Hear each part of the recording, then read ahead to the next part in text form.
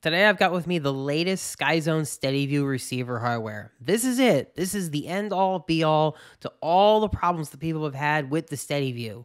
Or is it? Well, let's find out. I did some before and after tests on my own with drones that I had in my collection that had problems with the mixer. All right, so I'm going to take you through the before and after of this brand new SteadyView hardware so you can see it for yourself. Let's begin with the Tiny Hawk Freestyle 2 because this one is bad, really, really bad. Right here, that's a desync. And every time you see the picture go like this throughout the video, the mixer is failing. It's failing to build the picture correctly, and I'm getting this darkened image. Now, some people with the SteadyView get their image to roll, others get it to be dark like this, like you're seeing. Like, this is very, very unusable. I can't fly like this. Uh, so I would say this is probably one of the worst. We're starting with the worst, and then we'll uh, end with ones that are not so bad.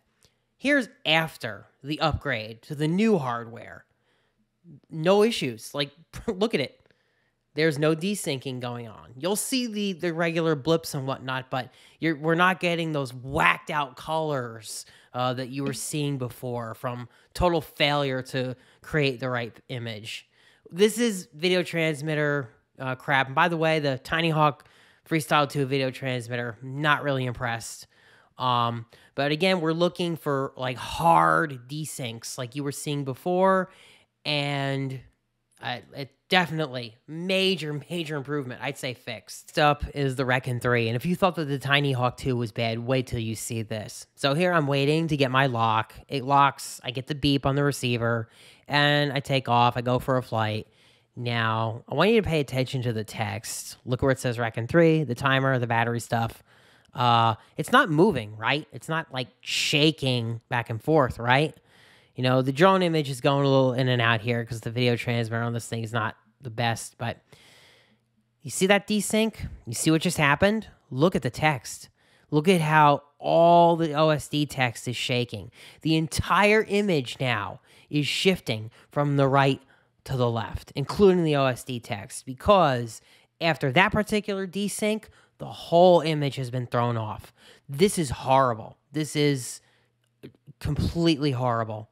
And this is an example again of the kind of worst result you can get with the original SteadyView hardware. Real quick intermission here. Uh, if you could drop a like on this video if you're enjoying these comparisons and this before and after review of the hardware, I would really, really appreciate that. It helps the channel out and it encourages me to make more content like this. Well, here's the new hardware. And I'm already a minute into the flight here, and I, I just kind of clipped this because I'm flying underneath the metal structure. I'm kind of flying all over the place. And look, I'm not desyncing. The desyncing happened pretty much immediately uh, in the beginning, the first video. Uh, whereas here, I'm just sailing. No issue. I mean, yeah, there's a little bit of shimmering, I guess you can see that, but uh, it's not desyncing. The image itself is not desyncing like it was there. That was crazy. So yeah, major difference, night and day difference, like usable.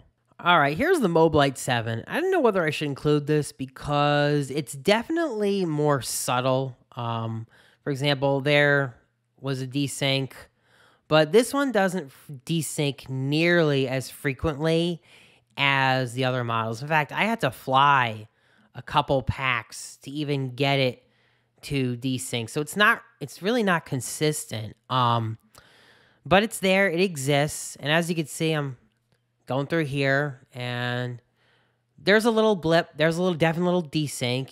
Hopefully you can kind of start to notice these uh, when it's desyncing, but it's subtle. On this model, it's it's a bit more subtle.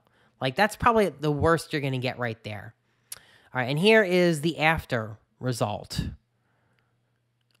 And I'm not even getting little blips. Again, on the Moblite 7, it was very subtle. You'd have a slight darkened image for maybe a split second or two. The desyncs were happening, but it was getting it back relatively quick, relatively quickly. So, yeah.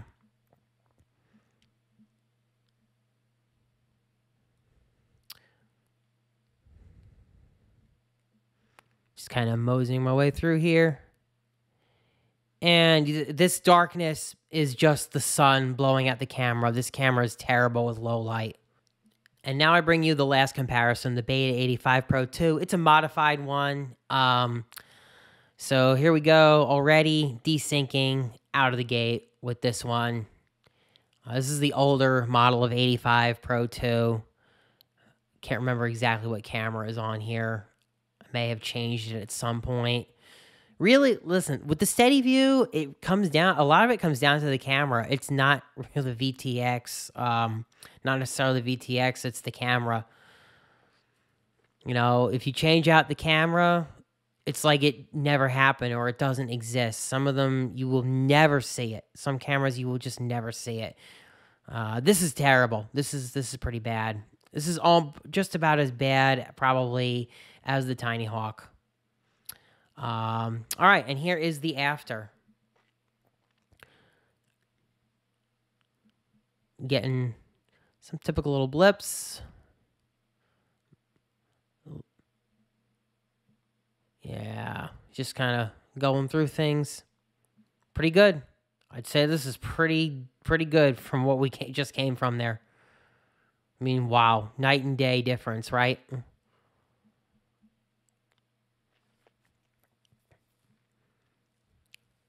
This is uh running the TBS Unified Nano video transmitter. I put that in there. Um, I put that in there when I did some work on this one.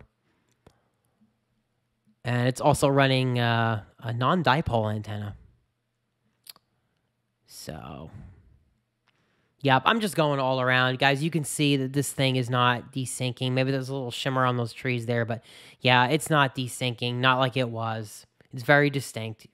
So we've reached the end of the comparisons. Let's talk conclusion here. Should you go out and buy this new SteadyView receiver fusion board, upgrading your hardware, and maybe solving the problem for you once and for all. Look, my results, I think, speak for themselves. I very clearly had drones in my collections with camera setups that were just plain screwed up, didn't work well in mixed mode at all. Likewise, though, I have a lot of other drones that I didn't show you here that work just fine. They work perfectly fine. And I've been using these goggles for quite some time with some of them, and I, I really couldn't complain that much. Every now and then, I would come across a model that was really, really bad with mixed mode, and I would just drop back to diversity. It it stunk, it sucked, but it's nice nice that there's a fix. There's a cheap, quick, easy upgrade that you can do to fix it. Should they be giving it out for free? I do think so. I really think they should be giving it out for free or a little cheaper, but it is what it is. Better late than never. Uh, I do want to talk about how to do the upgrade. I see a lot of people in the groups doing this wrong. You need to upgrade your goggle firmware first and then don't touch the firmware on the SteadyView receiver. It is already upgraded for you from the factory. Just plug it in. You're going to need to use an X-Acto knife to remove some of the glue that's on uh, the current receiver to be able to pull the fusion board that's on there off. Uh, just go slowly and carefully around the thing, but don't touch that software. Don't touch that firmware. It should be just fine for you from the factory. Leave it alone. All right, so that concludes our look at the new SteadyView Fusion board from SkyZone. I do want to mention I bought this with my own money. I bought my SkyZones with my own money. This is my true, unfiltered opinion on this stuff. Uh, let me know what you think. Let me know your situation with the SteadyView receiver. Are you thinking about getting the Fusion board? What do you think after seeing my results? Do you feel more confident jumping into it? Please let me know. If you decide to buy the upgrade and have some time to make a video to upload your results similar to the way I did, I think it would be an excellent resource for the community. There are a lot of us SkyZone owners out there, and a lot of people are wondering, is this module worth upgrading for? Right now, I can't tell you for sure that if you get this module, your exact camera setup will work, but this is my experience and I hope it was useful to you.